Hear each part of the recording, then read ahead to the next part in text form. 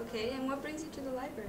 Well, actually, for it helped me for homework and have a good time and read books And why did you choose Lena? Because it's closest to my house. What do you do at the library? My name is Leanne Yoder, and I'm the managing librarian. Kind of helped chart the course for the library along with the rest of the staff. We kind of planned the vision for where we're heading. What's your favorite memory of Sam Lena?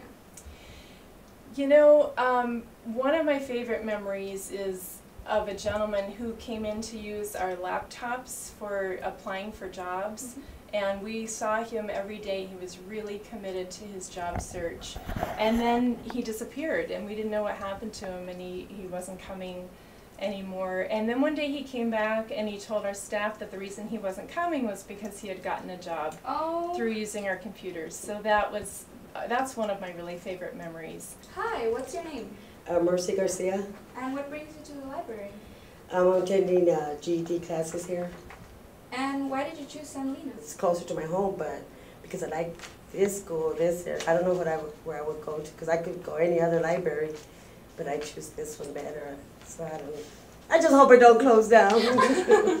the GED teacher and Maria just inspires me to, to be here. I'm here because she's just she's a wonderful teacher and she's great and I'm looking so forward to getting my GED and graduating and moving on with my life my future and That's really great. yes, I'm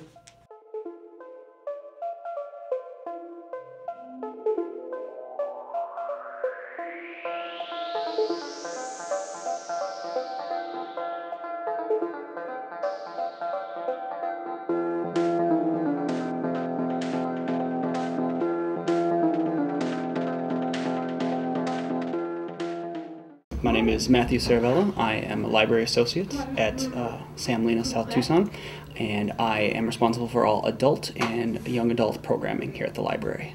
Wow. And what kind of impact does Sam Lena have on the community? Uh, Sam Lena is an important resource for the local community here. We offer a wide variety of um, different services for our customers, our patrons. Um, we offer access to various books, uh, computer services, internet, uh, various education opportunities, classes, um, entertainments, um, pretty much everything. How do you think the community will be affected if San were to be closed down?